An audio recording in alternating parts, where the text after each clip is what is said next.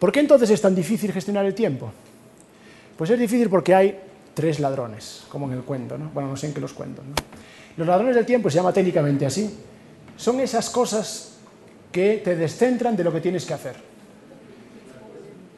Y si yo les digo cuáles son, bueno, se les ocurrirán muchas, pero a mí hay tres que me, me parecen importantes. El problema de estas tres es que me quitan, me quitan lo que les hablaba antes del cerebro de trabajar al 100%. Trabajar al 100%, esta es otra tarea también que dejo en los cursos que es interesante, ¿ustedes han trabajado alguna vez una hora al 100% en una sola cosa? Porque es una, o sea, una hora al 100% es mucho. Y si no, prueben la semana que viene. Yo les propongo la semana que viene, decidan, me da igual, una hora de la semana, una hora, pónganlo en la agenda, donde van a trabajar ustedes solitos. Ya sé que no es un mundo de fantasía, para mí es muy fácil, yo trabajo en casa, cierro las puertas y se acabó, ¿no?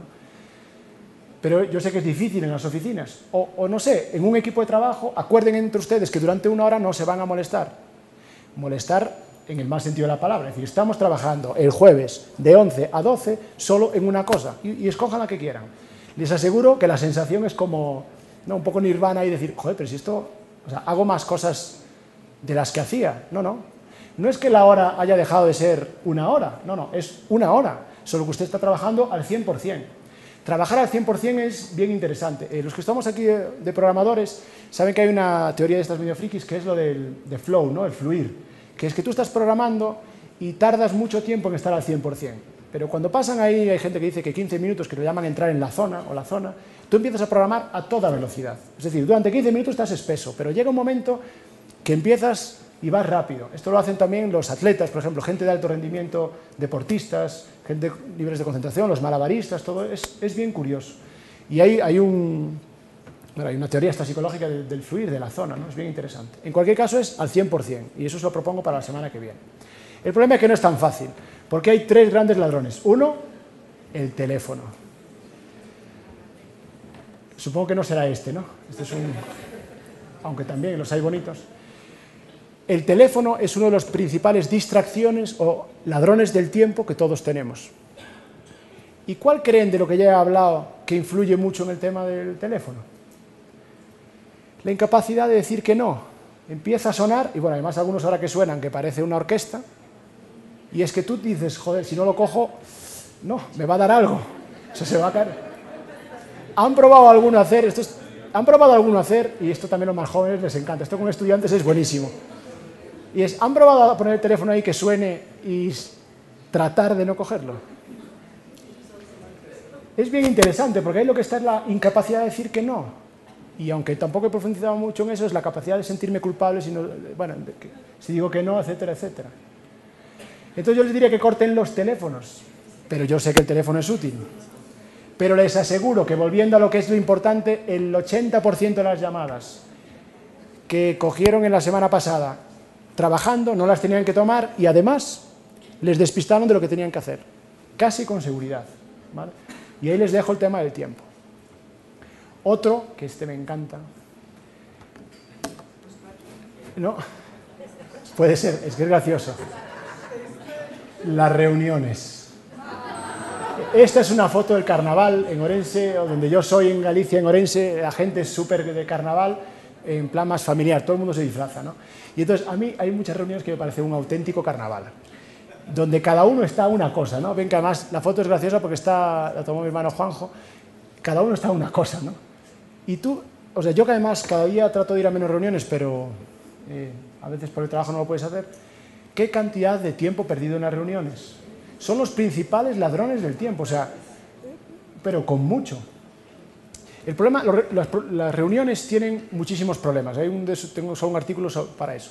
Pero por concretar es, ¿tienen problemas antes? Es decir, ¿hay que hacer esta reunión?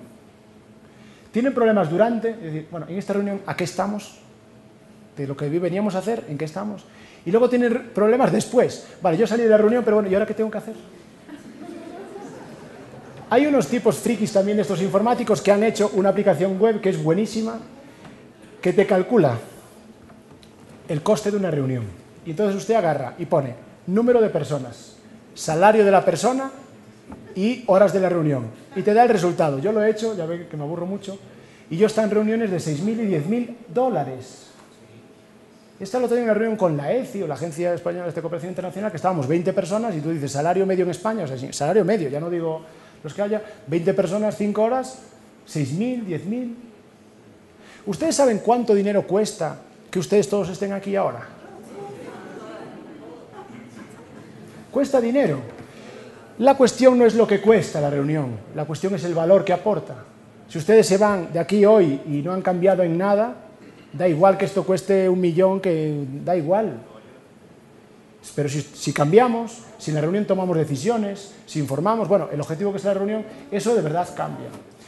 Las reuniones son el principal ladrón del tiempo. Yo soy, o por lo menos yo soy anti-reunión. Pero ojo que esto no quiere decir que las reuniones no sirvan.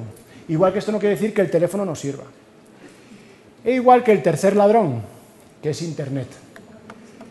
Esto también, bueno, más con los estudiantes que les encanta es que si el correo electrónico, que si el chat, el Messenger, el Facebook, el High 5, el Tricky no sé qué, el Migo, el no sé qué.